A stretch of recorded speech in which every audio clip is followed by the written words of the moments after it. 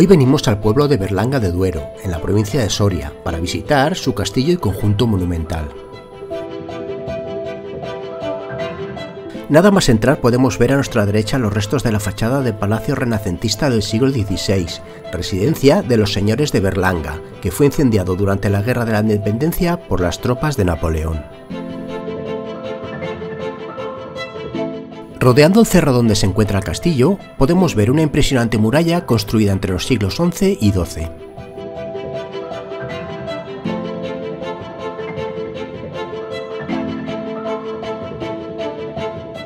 Llegamos a la antigua iglesia de San Juan, de la que solo se conserva un ábside de mampostería y un arco de medio punto de sillería.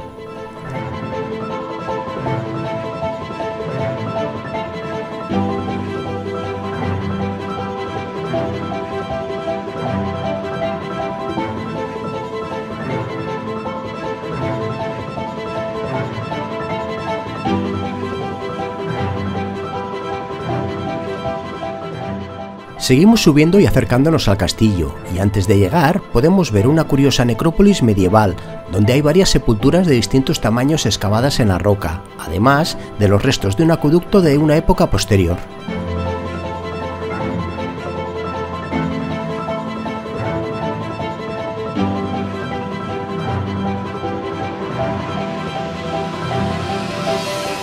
Ahora nos toca entrar en su interior donde podemos disfrutar de esta fortaleza recientemente rehabilitada y donde iremos encontrando distintos carteles informativos que nos facilitan la visita y entender cómo pudo ser el ambiente en la época medieval.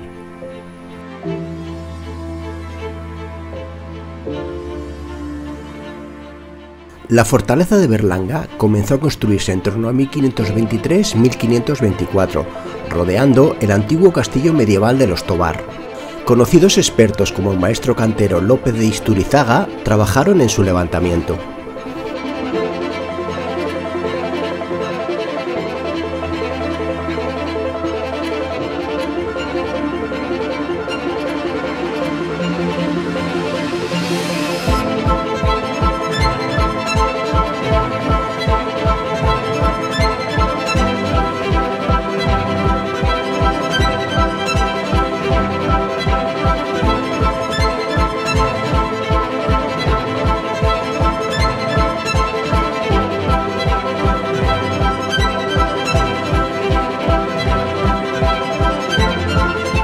La Torre del Homenaje es un edificio complejo formado por dos cuerpos, uno de ellos de planta cuadrangular y el otro de planta trapezoidal, en donde podemos ver cinco alturas, la planta baja y cuatro pisos contando con la terraza.